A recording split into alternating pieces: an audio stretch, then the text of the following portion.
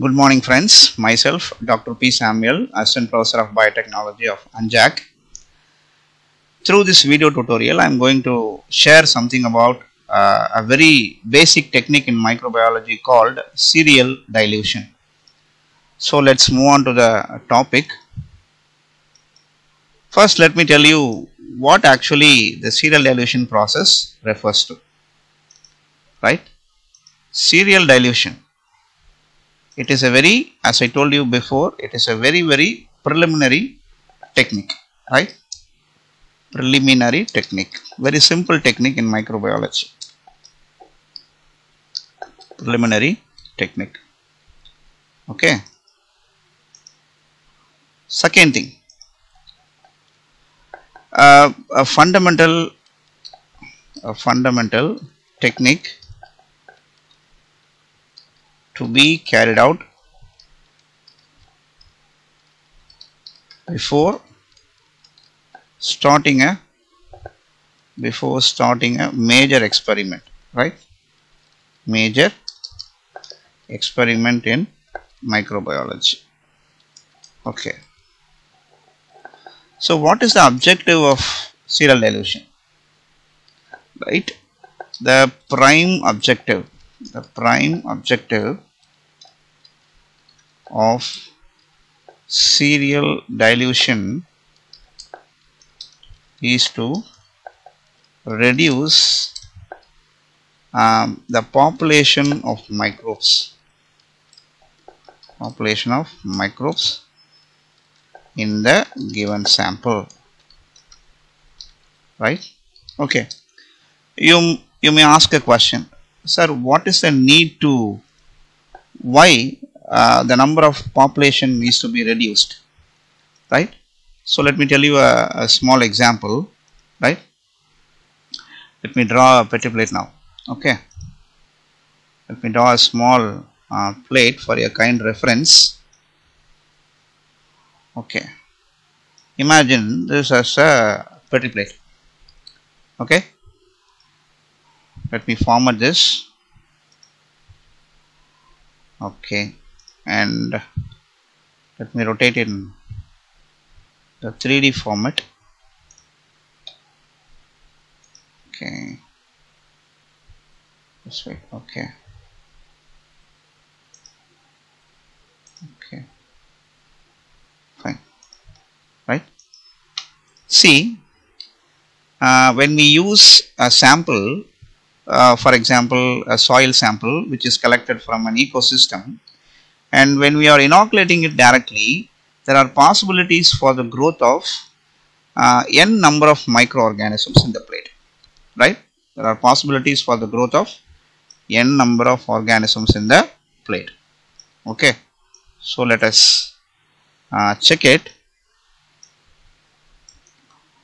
But characterizing all the organism at a time is quite difficult. Characterizing all the organism I mean uh, at a time is quite difficult right? So without serial dilution there are possibilities for the growth of n number of bacteria. n number of bacteria right? You should remember it. But when the sample is diluted actually what would happen there are significant reduction in the number of population which in turn enable us to characterize the isolates simply right? For easy understanding let me do it right? Okay. See now you could compare the first slide and the second slide. Here the number of cells are greatly reduced so that it is very easy for us to study the individual organism in a detailed pattern. So this is what the primary objective of serial dilution right is to reduce the population. See I have highlighted uh, the content in the red color okay. So now we move on to the requirements. What are all the primary requirements? For, the, for that I am going to import some images from my uh, USB drive. Okay. uh, for example uh, first what I need is soil this is a primary requirement right I'm in need of and the second requirements may be a beaker or beaker in the sense or a tube a test tube see these are all the fundamental requirements for my study right? Soil and test tubes right? These are all very important. Okay. So for example I'm taking 1 gram of soil. I'm taking 1 gram of soil. Measuring it 1 gram of soil. And I'm going to dissolve the soil in 100 ml of water sterile water right? 100 ml of sterile water right? Let me for your easy understanding let me import uh, the beaker right? Okay. Here is the beaker and I'm going to take a handful of soil right? So these are all the contents preliminary contents I want okay. So dissolving 1 gram of soil in 100 ml of distilled water. This is the primary factor now. 100 ml of distilled water. Right? 100 ml of distilled water. See we are dissolving right? We are dissolving 1 gram of soil in 100 ml of distilled water. So that the dilution becomes 10, 10 to the power of minus 1 right? 10 to the power of minus 1 so this is what the dilution right? So after this primary dilution process what I'm going to do I'm going to dilute it serially. See care should be taken that this particular water should be completely sterile. It should be a sterile water or sterile distilled water. Otherwise uh, the water may sometime harbor thousands of organisms in it by nature right? The indigenous population of microbes in the water itself may may interfere with our result which subsequently leads to a wrong conclusion about the experiment. So to avoid it so what we are doing? We are completely sterilizing it. We are completely sterilizing it. Or we are completely heating the soil. Right? So we are completely heating. Right? Heat the water heat the water. Okay. So this is to avoid contamination. This is to avoid your contamination of your experiments. Right? Okay. So after this so take a series of test tube right? For example paste here and paste here. Okay? So let me take a series of uh, test tubes right? So each test tube should be filled with uh, 9 ml of distilled water. So each test tube is filled with 9 ml of distilled water. Right? 9 ml of distilled water. So let me 9 ml of distilled water okay? 9 ml of distilled water. So fill all the test tubes with 9 ml of distilled water. This should be an essential or the first and important step in uh, the serial dilution process. Right? Every uh, tube right? Every tube should be filled with 9 ml of distilled water.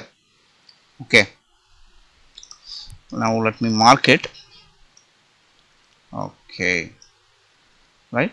Fill it with distilled water. Okay.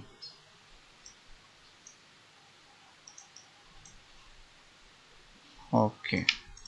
So the tubes are filled with distilled water. This is the first step. 9 ml of distilled water. And in the next step so we are going to add so let me take uh, the first slides alone I mean uh, a single set of test tubes alone so we know that the each tube is filled with 9 ml of distilled water. Right? It is very clear. Second tube. And this one is third tube. So to each tube so what we have to add is right 1 ml of this soil sample. Right? We have to add 1 ml of soil sample into uh, the tube containing 9 ml of distilled water. So let me import an image. Pipette okay. Right? So here is the pipette so with the help of uh, the pipette we have to add 1 ml of distilled water. So in the same way right we have to transfer 1 ml into each test tubes. Right? So this is the step we have to watch it very closely because uh, prior to the addition of 1 ml of uh, diluted soil sample we have 9 ml of distilled water. Right? We have 9 ml of distilled water in each test tube. Right? 9 ml of distilled water in each test tube so after the addition of the 1 ml soil sample from the inoculum right the total volume becomes 10 ml. So the total volume in each test tubes become 10 ml right? You know how? This is due to um, this is due to 1 ml of diluted soil sample with 9 ml of distilled water. So that the total volume of each test tubes become 10 ml. Okay? Right? Fine. So the purpose of transferring the sample from one tube to another tube is to reduce the microbial population. That is very very important to reduce the microbial flora. So again i would like to uh, recap why we need to reduce the population? Because when we reduce the microbial population right it is easy for us to study the individual organisms in detail right in detail. So when the plate is filled with uh, different numbers of organisms it is quite difficult to characterize each of them. So prior to the transfer of the inoculum into the subsequent test tubes right we should shake the entire content gently right? We should shake the entire content gently. So now this tube is said to be the mother inoculum right? This is said to be the mother inoculum right? Uh, for your easy understanding let me write it here. This is called mother inoculum. Mother inoculum right? Fine so this mother inoculum containing the following composition means 100 ml of distilled water with 1 gram of soil sample. Okay. So now this mother inoculum is gradu I mean is serially transferred into different test tubes different test tubes right? So let me uh, draw a small uh, test tube for the kind uh, uh attention. Right? In the in the next uh, uh, tube the next slide. Okay. So uh, let us draw a test tube. Okay. A small test tube. Okay. Here is the test tube. Fine. Now let me okay. So this is how we are taking different test tubes. 4 5 and 6 imagine these are the labeled test tubes. Now the each tube is containing uh, the soil sample right? For example uh, probably okay right? This is the first test tube right? Imagine uh, let me uh, delete all these things okay. Okay. Delete it because okay. So let's take let's duplicate this slide. So now right? Imagine this is your uh, second tube right? Let me take the third one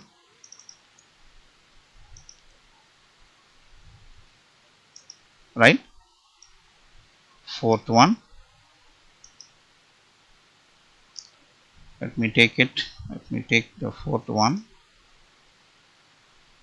Okay. Fifth one.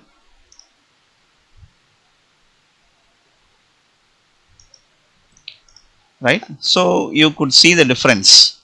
This one is very thick because it contain the dissolved soil sample. So as we goes on what is happening here? Right as we move on to uh, the subsequent slides the population I mean uh, the concentration of the soil is gradually dissolved. Right the concentration of the soil is gradually dissolved.